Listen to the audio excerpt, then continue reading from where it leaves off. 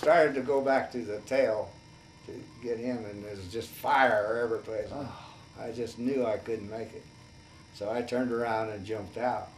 I did a no-no. I was laying down there and it was too, too uncomfortable with the leg straps on the parachute, backpack parachute.